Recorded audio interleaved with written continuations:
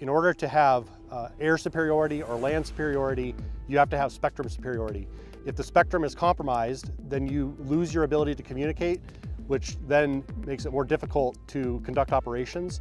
And so uh, EMSO, electromagnetic spectrum operations, uh, is a critical component that is necessary for all operations in a contested environment.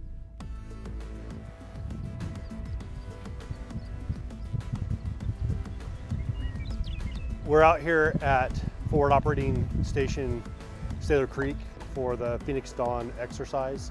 Our primary objective was to demonstrate aspect war, intel, and cyber working together to locate a hostile RF target uh, in a contested environment.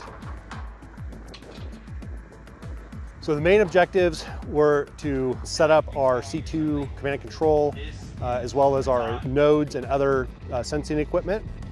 Once we established that, then we did a drill with uh, counter UAS where we were able to locate the pilot location using RF geolocation technology.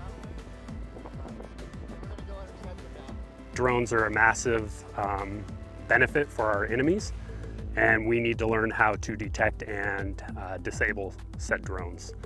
And so we're out here trying to figure that out. We have a big open range where we're not interfering with anybody else and we can get a lot of practice in doing this stuff. Radio frequencies are all around us, so we have equipment that can detect those signals and pick through them. We have nodes out that go, okay, that's, that's a Wi-Fi hotspot, or that's a cell phone, or that's a drone operator. We use all that EM equipment to detect and possibly disable uh, said drone operators and or drones. Being ahead of the curve is going to be very important to keeping our airmen safe.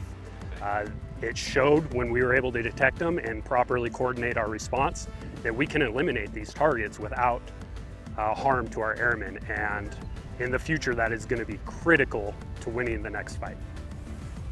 That was in, in the morning of the 7th. In the afternoon of the 7th, we simulated a uh, ISET mission, essentially trying to locate a hostile GPS jammer. The TACP team went out with a support element. Uh, we heard reports that there was some jamming equipment out to our east, along with a simulated surface-to-air threat. The direction finding equipment that we were using, that we were borrowing, was called a Kraken. It just picks up on emissions, uh, can detect them, what frequency range it's in, and it was kind of giving us a direction and bearing and distance on how far it was, so we kind of knew as we were coming up on it, which allowed us to jump out of our trucks prior to being seen by the, by the enemy. And so we could go find some high ground, get eyes on the target.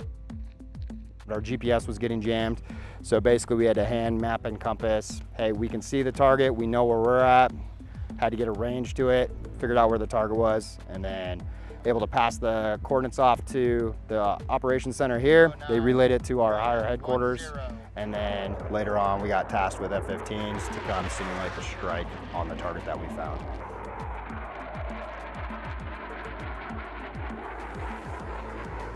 I think the exercise was a success. We met all our exercise objectives. We were able to really put together a joint operation because we had personnel from uh, JBLM with the Army. We had active duty Air Force. We had three different vendors here that provided some of the latest, most advanced electronic warfare technology available on the market. And we demonstrated some capabilities that uh, would not have been able to demonstrate uh, without their support. So I think we met all our objectives and it was a success.